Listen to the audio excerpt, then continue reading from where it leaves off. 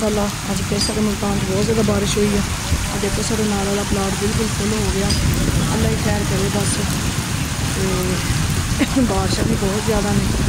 ਅੱਲਾਹ ਤਾਲਾ ਆਪਣੇ ਜਮਾਨ ਤੇ ਰੱਖੇ। ਹੋਇਆ ਸਿਰਫ ਨਾ ਸਿਰਫ ਜੇਕਰ ਲੋਕ ਇੰਨੀ ਸਪੀਡ ਨਾਲ ਮੋਟਰਸਾਈਕਲ ਲੈ ਕੇ ਜਾਂਦੇ ਆ, ਤੇ ਬੰਦੇ ਦੀ ਜਿਹੜੀ ਸੋਚ ਹੋਏਗੀ। ਤੇ ਇਸ ਕਰਕੇ ਅਸੀਂ ਇੱਥੇ ਬ੍ਰੇਕਰ ਬਣਵਾਇਆ ਵਾ। ਤੇ ਉਹ ਬ੍ਰੇਕਰ ਦੇ ਉੱਤੋਂ ਦੇਖੋ ਪਾਣੀ ਜਾ ਰਿਹਾ। ਇੰਨਾ ਜ਼ਿਆਦਾ ਪਾਣੀ। ਇੰਨਾ ਜ਼ਿਆਦਾ ਪਾਣੀ ਹੈ ਤੇ ਹੁਣ ਇੱਥੇ ਬ੍ਰੇਕਰ ਤੋੜਿਆ ਵਾ ਤਾਂ ਕਿ ਪਾਣੀ ਨਿਕਲ ਜਾਏ ਬਾਹਰ ਤੇ ਪਲਾਟ ਸਾਡਾ ਨਾਲ ਵਾਲਾ ਬਿਲਕੁਲ ਫੁੱਲ ਹੋ ਗਿਆ ਵਾ ਦੇਖੋ ਜੀ। ਇੰਨੀ ਜ਼ਿਆਦਾ ਬਾਰਿਸ਼ ਹੋ ਰਹੀ ਹੈ ਬਹੁਤ ਜ਼ਿਆਦਾ ਬੱਦਲ ਅੱਲਾਹ ਤਾਲਾ ਖੈਰ ਕਰੇ, ਅੱਲਾਹ ਤਾਲਾ ਖੈਰ ਕਰੇ।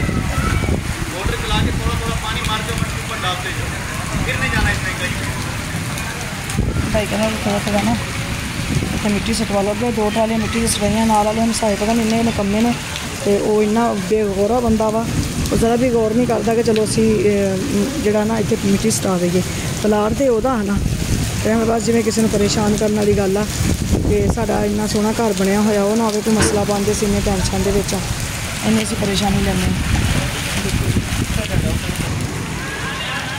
ਅੱਛਾ ਜੀ, ਮਾਸ਼ਾਅੱਲਾ, ਜਾਨ ਦੇ ਪਾਪਾ ਵੀ ਇੱਕਦਮ ਬਿਲਕੁਲ ਭੁੱਜੇ ਖੜੇ ਨੇ ਤੇ ਬਾਰਿਸ਼ ਦੀ ਵਜ੍ਹਾ ਤੋਂ ਪਰੇਸ਼ਾਨ ਖੜੇ ਨੇ।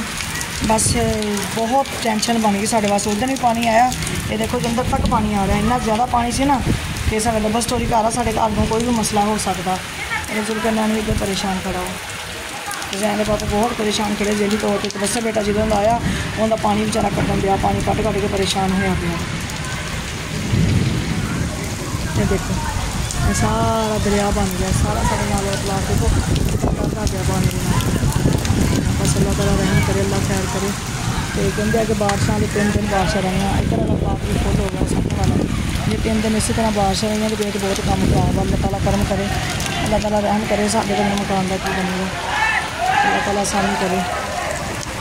ਅੱਲਾਹ ਨੇ ਰਹਿਮਤ ਹੀ ਕੀਤੀ ਆ ਤੇ ਲੇਕਿਨ ਪਾਣੀ ਬਾਰਿਸ਼ ਬਹੁਤ ਜ਼ਿਆਦਾ ਵਾ। ਅੱਲਾਹ ਤਾਲਾ ਤੇ ਰਹਿਮਤ ਕੀਤੀ ਆ।